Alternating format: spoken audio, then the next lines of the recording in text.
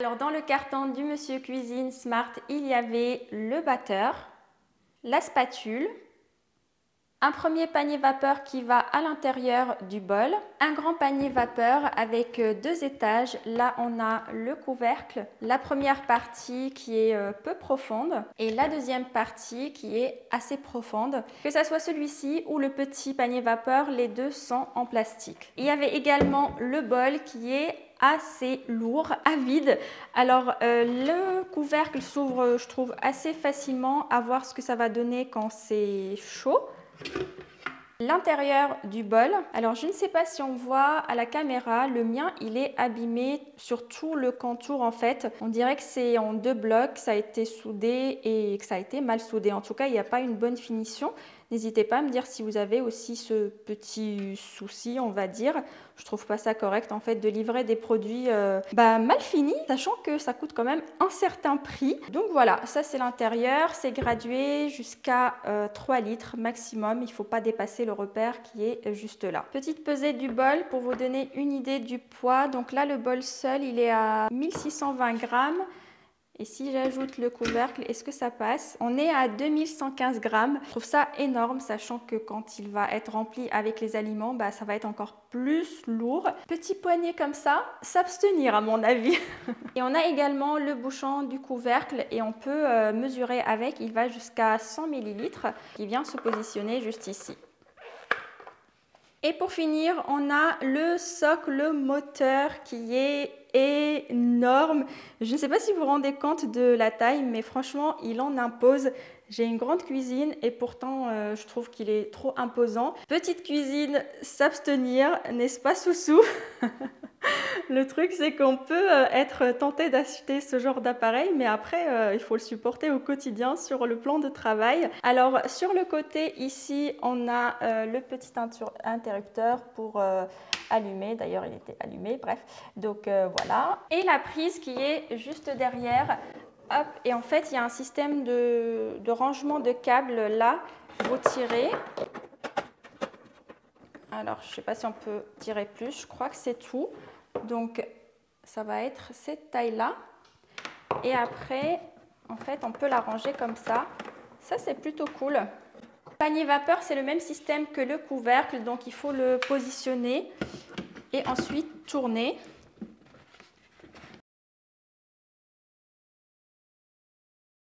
Et je galère à le positionner.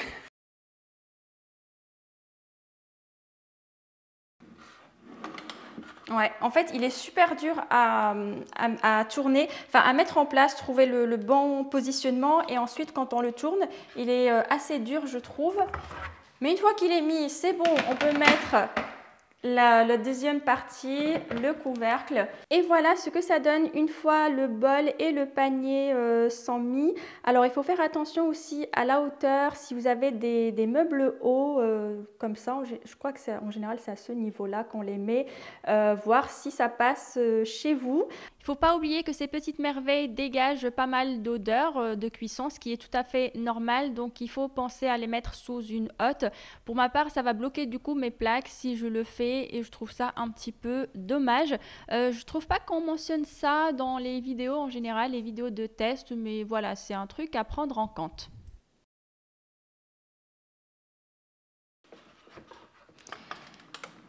Décidément, le couvercle avec euh, ah, le panier est vraiment trop dur à enlever. C'est pas quelque chose que je vais utiliser régulièrement, donc ça passe. Mais si vous êtes euh, beaucoup pour la cuisson à vapeur, c'est un peu galère.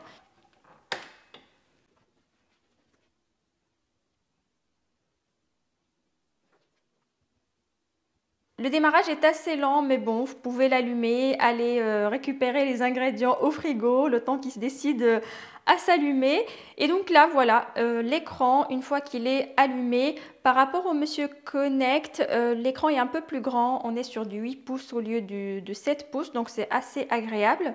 Une fois que l'écran est allumé, on vous demande de se connecter ou de s'enregistrer, mais ce n'est pas obligatoire. Vous n'êtes pas obligé de connecter votre robot au Wi-Fi. Donc vous pouvez tout simplement appuyer ici, d'abord ignorer, et après vous allez accéder euh, à l'interface avec les recettes, les programmes, etc. Nous, pour aujourd'hui, bah, on va faire cette étape-là, donc se connecter, s'enregistrer. se connecter à la Wi-Fi. Donc normalement, il cherche, il trouve euh, votre box et après, il faut mettre le mot de passe.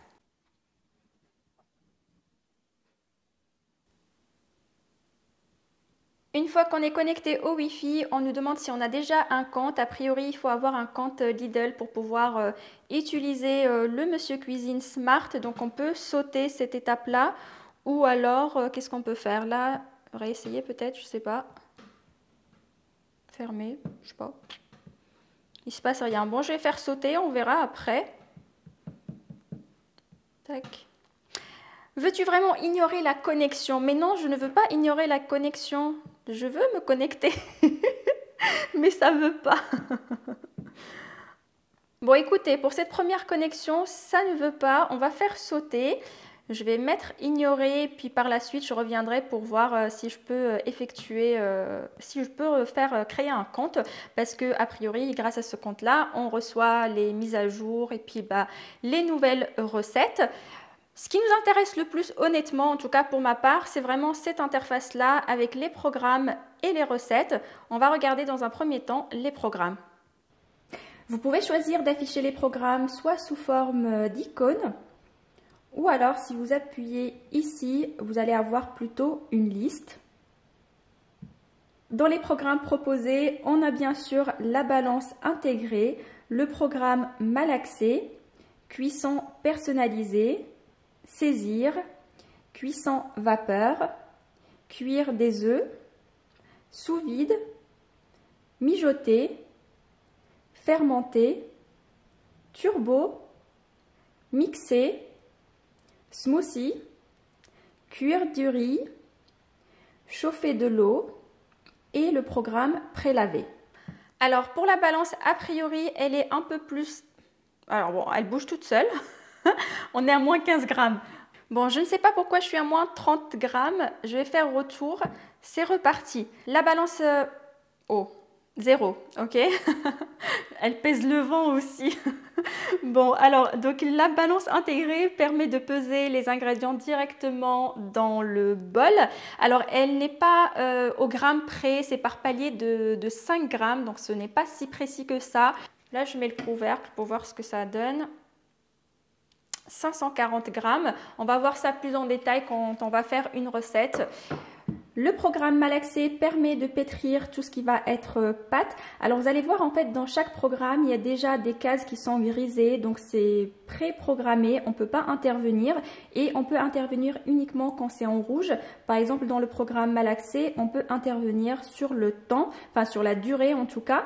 Donc soit vous utilisez la molette pour euh, changer donc les secondes, les minutes ou alors vous pouvez intervenir directement sur l'écran et le maximum qu'on peut mettre, ça va être 2 minutes. J'aurais pensé qu'on peut faire un peu plus longtemps vu que le moteur est a priori plus puissant, mais le maximum, ça va être 2 minutes. En moyenne, en fait, il, est conseillé de pétrir 10 minutes pour avoir une belle pâte euh, bien souple. Donc, il va falloir relancer à chaque fois. Je ne trouve pas ça pratique. Faut rester bah, devant, relancer, relancer, en croisant les doigts pour que le robot tient le coup. Euh, de toute façon, on va voir ça. On va faire une petite euh, recette de pâte euh, à pizza et puis une petite brioche également. La cuisson personnalisée permet du coup bah, de personnaliser le tout, que ce soit la température, le temps, la vitesse et la rotation à droite ou à gauche. Alors pour la rotation à droite et à gauche, donc à droite c'est le sens on va dire classique, ah, c'est la deuxième fois que ça me fait ça. On a compris, je n'ai pas besoin de réseau. Hop là Donc, je disais, la rotation à droite, c'est la rotation, on va dire, classique. Donc, le couteau à l'intérieur va couper les aliments. Quand vous choisissez la rotation à gauche, donc c'est dans le sens inverse, normalement le couteau n'est pas censé couper les aliments. Ça, c'est reste à vérifier. Euh, on se retrouve facilement avec des bouillies. En tout cas, c'est ce qui se passait avec le Connect. On vérifiera avec celui-là, euh, voir s'il y a eu de l'amélioration à ce niveau-là. Et après, bah, il y a le reste des programmes, donc saisir, cuisson vapeur, etc. Ça va être un peu la même chose. Par exemple, dans le programme saisir, on va pouvoir intervenir uniquement sur la température et le temps. La vitesse, ça va rester à 1 euh, et la rotation à gauche. Vapeur, pareil. Donc là, ça va être uniquement le temps. la cuisson des œufs. Ça, c'est un nouveau programme. Il n'existait pas dans le Connect. Donc, euh, vous pouvez choisir le calibre des œufs, par exemple petit, moyen, grand euh, et puis le type de cuisson à la coque, mollet, dur. Ah oui, 18 minutes quand même. Je trouve ça assez long quand même. Euh, je pense qu'il doit mettre beaucoup de temps pour monter en température. C'est pour ça que c'est euh, assez lent. À la coque, combien? 11 minutes. Ouais. Mollet, 13 minutes. Donc après, une fois que vous avez paramétré ça, vous appuyez sur démarrage et ici, on vous dit quoi faire. Par exemple, là, ils vous disent placer jusqu'à 6 œufs refroidis. Donc, il faut que vos œufs sortent du frigo, a priori, dans le panier de cuisson et insère celui-ci dans le bol mixeur. Après la cuisson, plonge les œufs dans l'eau froide. Remplis le bol mixeur avec 500 ml d'eau froide. Ok, et puis vous faites démarrer. On a la cuisson sous vide, on peut intervenir sur la température et le temps, mijoter, fermenter, bon voilà, après il euh, n'y a, rien de, rien de particulier, rien de bien compliqué, il faut, il faut suivre en fait euh, les instructions. Alors pour la fermentation, 40 degrés, est-ce qu'on peut... Alors, Bon, ça par contre, en fait, euh, l'écran a du mal à réagir par moment. Euh, dans la publicité, ils disent que c'est un écran A. Monsieur Cuisine ne répond pas. Fermez l'application, attendre. Bon, euh, dans l'application, ils disent que l'écran est censé être beaucoup plus réactif, etc., etc. moi, je ne trouve pas qu'il est si réactif que ça. Ça galère pas mal. Est-ce que j'ai envie d'attendre? Non. Je vais fermer l'application. Et du coup, ça redémarre carrément. Ok. Pourquoi pas On attend. Ça va, ça a été rapide. Allez, profite dès maintenant d'une expérience culinaire inoubliable avec ton Monsieur Cuisine Smart. Ok, merci. Donc, je sais plus où j'en étais. Ah oui, dans le programme fermenté. Donc, je voulais voir pour la température. Donc, c'est le minimum 37 degrés et ah, le maximum 65 degrés. Et puis pour le temps, on peut aller jusqu'à combien? Jusqu'à 12 heures. Donc c'est plutôt pas mal pour faire tout ce qui est recette euh, de yaourt par exemple. Et après, on fait démarrage. On va regarder le programme prélavé. Pour l'instant, il n'y a rien à l'intérieur, mais c'est juste pour voir ce qu'il propose. Donc on a soit le nettoyage rapide, euh, peser 500 g d'eau. Donc il faut mettre 500 g d'eau et puis euh, démarrer. Ça dure 1 minute 30. Nettoyage lent, 1 minute 45. Bon, c'est pas plus lent que ça, mais euh, voilà, il y a deux durées possibles. Je pense c'est en fonction de la catastrophe qu'il y a à l'intérieur. Surtout s'il y a des choses qui ont collé, peut-être qu'il faut choisir le nettoyage lent. Donc c'est plutôt pas mal. Je vais pas mettre démarrer parce que j'ai peur que ça le lance. Et là en haut sur la gauche, c'est écrit recette et on peut switcher donc euh, entre recette et programme en appuyant à chaque fois ici. Donc si j'appuie là, ça me bascule vers les recettes je réappuie, ça me bascule vers les programmes. On va aller maintenant dans les recettes. Il y a plusieurs possibilités pour euh, les afficher et pour euh, trouver euh, des recettes tout simplement. Ici, vous avez filtré. Quand vous appuyez dessus, ça vous permet de voir les catégories pour choisir par exemple sauce, soupe, salade, garniture, etc. Vous pouvez même afficher plus, donc vous avez encore plus de, possibilités, par exemple petit déjeuner, dîner, entrée, etc. Euh, vous pouvez choisir par ingrédients légumes, poissons, pommes de terre, bœuf. Euh, et pareil, vous pouvez afficher plus pour avoir plus de possibilités. Et là, ici, on choisit le temps. Par exemple, j'ai 10 minutes pour euh, préparer mon repas. Et eh ben, on va pouvoir euh, voilà, mettre par exemple 10 minutes, 1 heure, 2 heures, etc. niveau de difficulté, on peut mettre par exemple facile, moyen ou difficile. Là, je vais mettre 15 minutes. Allez, je vais laisser ça comme ça.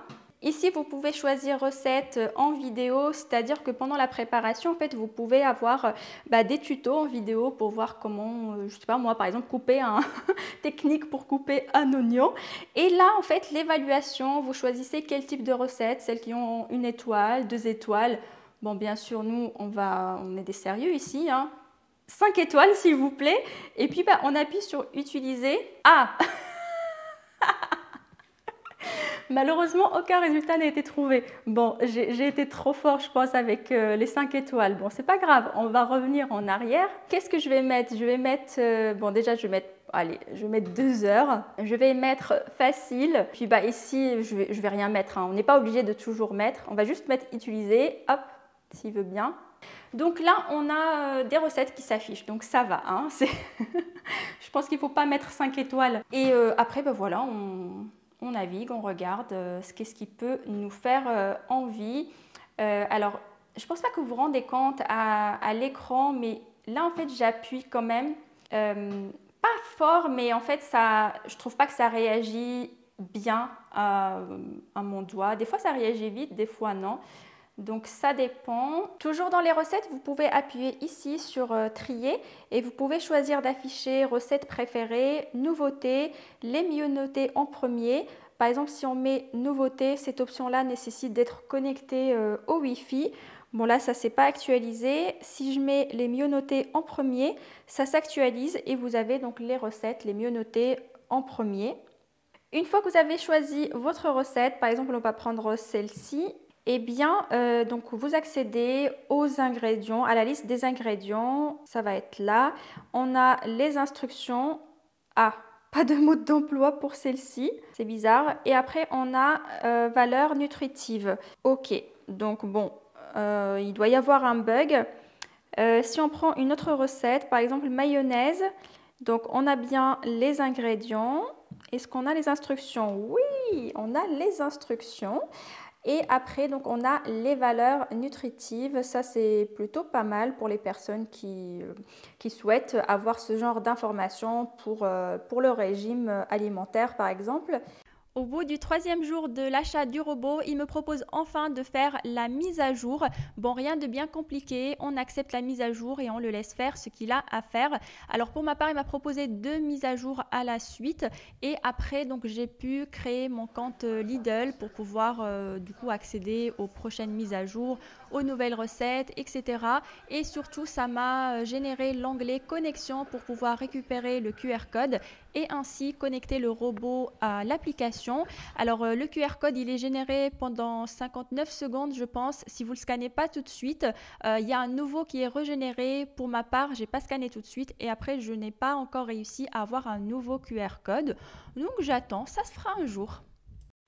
En haut à droite, on a la petite cloche, il y a, une petite, euh, il y a un petit point rouge, c'est-à-dire qu'on a des notifications. De nouvelles recettes sont disponibles, une mise à jour, etc. etc. Bon, il y en a des notifications. Je pense que c'est normal vu que c'est euh, que c'est la première fois qu'il est mis en route. Et puis là, quand on appuie,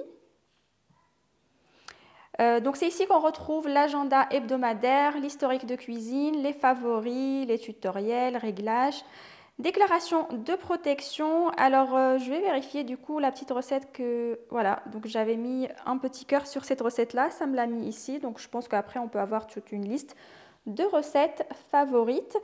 Et dans les réglages, donc c'est ici qu'on va pouvoir euh, intervenir un petit peu sur le robot, tout ce qui va être euh, langue, pays, luminosité, le son, tiens, il est comment le son?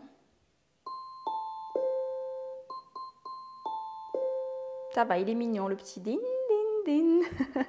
le Wi-Fi, connexion, mémoire, compte utilisateur, etc. Bon après voilà, ça c'est, il faut voir petit à petit tout, tout ce qu'il y a. Ici donc connexion, c'est là où on va trouver le QR code du coup pour euh, connecter le Monsieur Cuisine au smartphone, à la tablette. Euh, donc là, pourquoi il me l'affiche pas? Renouveler. Bon, tant pis. C'est que ça, doit ramer. A priori, en fait, il y a pas mal de soucis de, connexion, des personnes qui n'arrivent pas à trouver le QR code, même pour les mises à jour et tout ça. A priori, c'est normal parce qu'il y a trop de monde qui sont en train de faire au même temps la même chose. Donc, il faut être patient. Alors, je n'ai pas trouvé de recette de pâte à pizza dans le robot, donc j'utilise ma propre recette, une recette que j'ai l'habitude de faire. Pour le pesage, je trouve la balance assez réactive. Bon, bien sûr, elle n'est pas précise au gramme près, mais ça permet quand même de peser directement dans le bol. Si la recette vous intéresse, dites-le moi dans le commentaire, je vous la partagerai euh, assez vite sur le site. J'ai utilisé le programme Malaxé pour mélanger dans un premier temps les ingrédients. J'ai mis 7 secondes, j'ai eu un petit message pour me dire qu'il faut une durée minimum, enfin la durée minimum conseillée, euh, je ne sais plus elle était de combien, mais en gros 7 secondes ce n'est pas suffisant, mais ça ne bloque pas, on peut quand même l'utiliser pour mélanger. Et après j'ai tout simplement lancé le robot sur les deux minutes euh, qui sont programmées dans le programme Malaxé. Euh, alors déjà au bout des 7 premières secondes, j'ai eu une petite odeur de surchauffe, mais le robot ne s'est pas arrêté.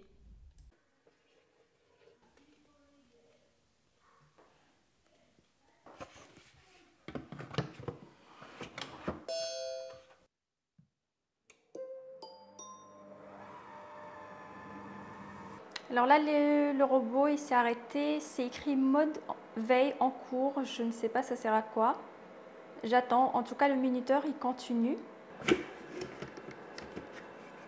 Alors ça fait des espèces de petites crottes. Je pense qu'il manque un petit peu d'eau. Pourtant, c'est pas sec. Hein. Si on la travaille, je pense qu'il faut juste... Bah non. Non, je vais pas ajouter de l'eau parce que là, regardez, en travaillant la pâte, elle est, euh, elle est bien, elle est même souple. Donc si j'ajoute un peu d'eau, j'ai peur, que, peur d'avoir une pâte euh, trop liquide. Bon, ça m'a l'air pas mal. Je vais retirer la pâte euh, du robot et la travailler tout simplement et la laisser, euh, la laisser lever. Alors avec mon robot pâtissier, moi normalement je pétris cette pâte à peu près 15 voire des fois jusqu'à 20 minutes et j'obtiens vraiment une pâte très très souple, presque avec une boule formée. Donc bon, Là, ce n'est pas, pas vraiment le cas, mais en tout cas, j'ai quand même une belle pâte.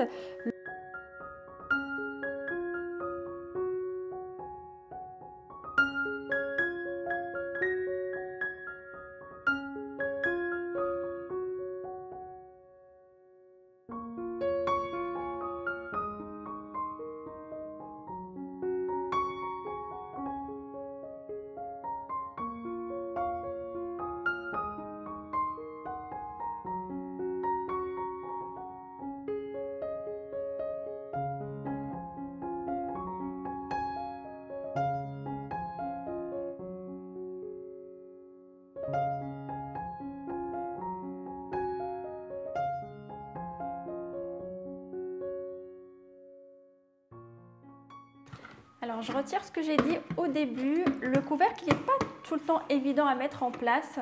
À chaque fois, il faut trouver un petit peu euh, la bonne position.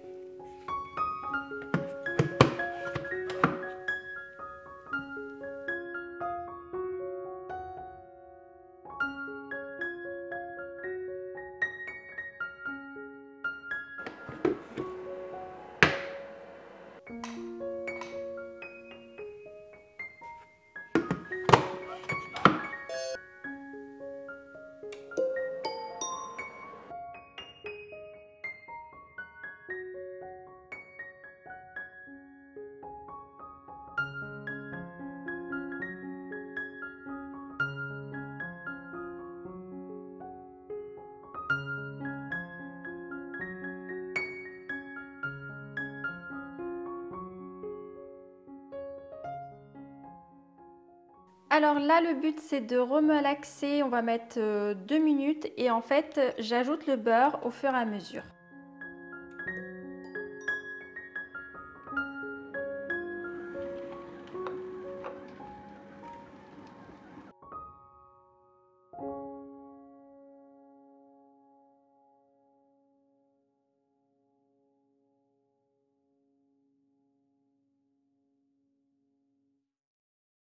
Alors le bol n'est pas brûlant mais il est bien chaud, je ne sais pas si c'est normal euh, ou pas. En ce qui concerne le malaxage, euh, ça a été bien pétri je pense, même si j'ai quelques bouts de beurre qui n'ont pas été euh, bien intégrés. Ma pâte est très très souple comparée à ce que je fais d'habitude dans mon pétrin, enfin dans mon robot pâtissier. Je pense que ça va le faire quand même avec un petit peu de farine, je vais pouvoir la travailler Par contre, pour la transvaser, c'est une grosse galère. C'est vraiment très très lourd. J'ai trop galéré. Donc, euh, poignée centrale ou poignée sur le côté, euh, c'est toujours un peu le même problème pour euh, transvaser les, bah, les, aliments qu'il y a dans le bol. Donc, bah, en fait, j'ai fini par utiliser la technique de le bloquer contre le ventre, enfin sur les côtés, pour pouvoir tout enlever. ne faites pas comme moi là avec les mains parce que le couteau, il est très très très tranchant. J'ai failli me couper. Donc, utilisez au maximum la spatule.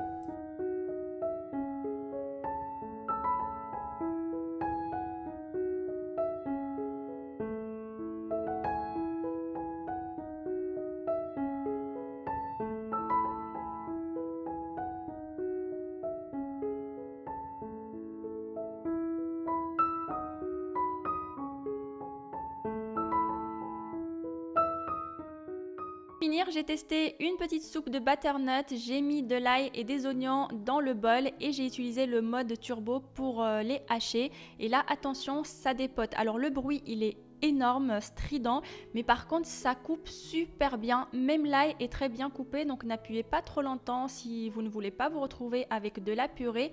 Et après j'ai tout simplement ajouté mon butternut coupé, le bouillon de légumes et j'ai cuit le tout pendant 30 minutes à 100 degrés, vitesse 1. Euh, en fait j'ai suivi les instructions euh, utilisées dans les soupes qu'il y a dans le Monsieur Cuisine, c'est juste que moi j'ai utilisé que du butternut et euh, franchement le résultat était top. Oui, après la cuisson, euh, j'ai tout simplement mixé pendant 30 secondes.